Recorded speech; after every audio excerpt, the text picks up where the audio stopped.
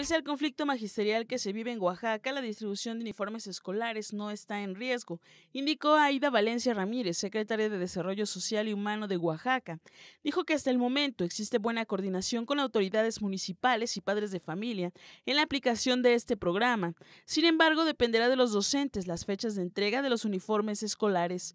Detalló que la entrega de vales de uniformes concluyó el 31 de julio, mismos que beneficiarán a 975 mil niños y niñas de 5.800 localidades en la entidad, con lo cual se cubrió al 100% de las escuelas públicas en los 570 municipios para que al arranque de este ciclo escolar podamos distribuir los uniformes en especie.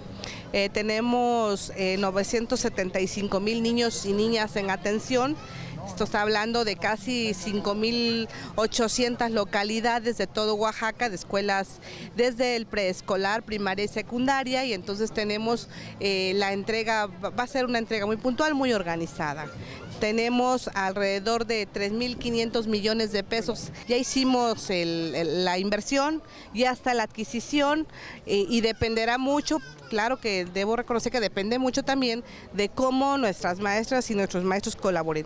Sin embargo, con la buena experiencia que tuvimos ahora con la distribución de los vales, nos dimos cuenta que sí hay una buena aceptación del programa. Entonces, es muy difícil eh, que, la, que las maestras y los maestros estén negándose cuando tienen por encima una presión muy fuerte que son los padres de familia. Entonces ha habido buena coordinación, no tengo queja, hasta el momento no ha habido una alguna zona en especial que nos esté negando eh, la distribución de los del programa informó que este programa social representó una inversión por un monto de 3.500 millones de pesos. Con imágenes de Azarel Guevara, informó para MBM Televisión Karime Cruz.